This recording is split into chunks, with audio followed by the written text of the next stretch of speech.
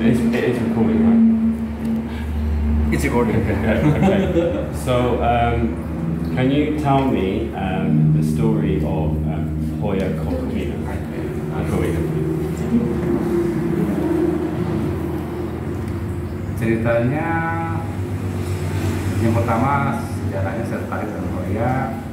Uh, saya lihat ada keindahan tersembunyi di Hoya. Kemudian setelah perjalanan waktu, uh, saya ingin mencari tanaman baru atau spesies baru yang belum teridentifikasi. Karena saya lihat di literatur, di buku atau di uh, internet, di majalah yang lain masih sangat sedikit yang ditemukan di wilayah Kalimantan Barat di Sanggau.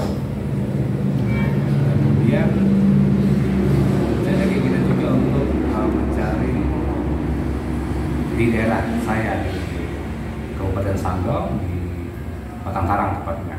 Kemudian saat itu uh, apa saja pembukaan lahan untuk keluarga, kerjasama keluarga, bukan perusahaan ya, keluarga. Kemudian uh, saya ke lokasi, uh, saya menemukan jenis tanaman hoya yang mirip dengan hoya scotex sinii.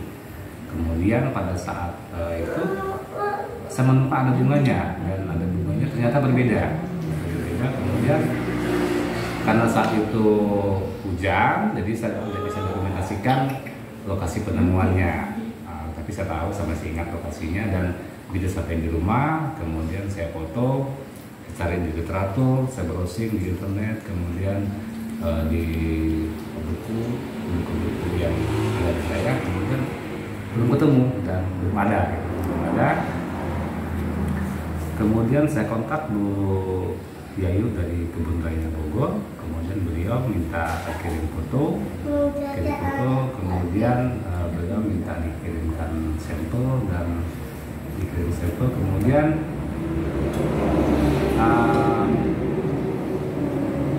saya berharap ada nama sini nama yang bisa mengingatkan kita bahwa ini ini tanaman yang bukan di tempat saya oleh saya kemudian berbukannya dan ada indah kebetulan pas saat itu lahir uh, Kaiko kemudian saya bilang dengan dari Bogor, kalau bisa uh, nama putri saya gitu. Nama putri saya Kaiko ada Kaiko kemudian pada saat uh, selesai diteliti setelah setahun berjalan selesai diteliti oleh uh, Ibu Yayu peneliti dari Bogor kemudian dirilis pada bertepatan dengan hari ulang tahun.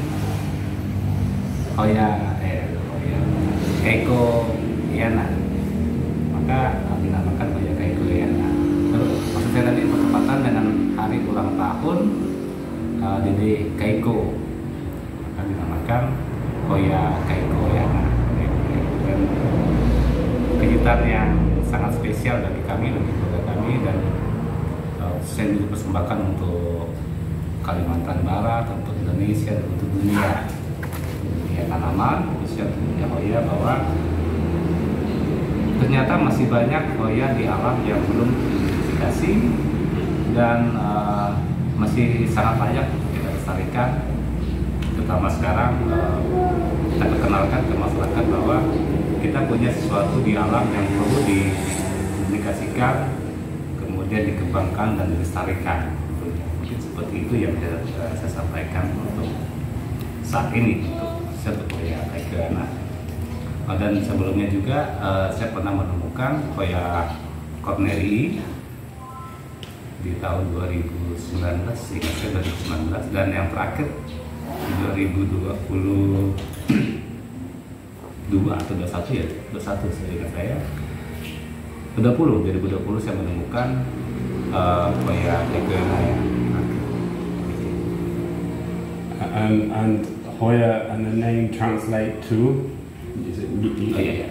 Yeah, say this one as well. So, Hoya Kaiko Kaiko Hoyana itu uh, berasal dari bahasa salah satu sub suku Dayak di Kabupaten Sanggau Kalimantan Barat kaiko itu berarti eh, kamu tidak Eh, atau bisa diartikan juga mau enggak itu artinya atau kalau bahasa Inggrisnya di Yuan Yuan itu arti kaiko itu bahasa Dayak sub suku Dayak Keneles di Kecamatan Balai Kabupaten Sanggau I'm going to test how the sound sounds. I can go on to the next question. Wow, keren sih. Akhirnya bahasa Jepang kira. Akhirnya Jepang. Itu bahasa ya? Wih maknanya sangat dalam. Gila banget namanya. Bukan sekedar sebuah nama anak ternyata maknanya ini asli ini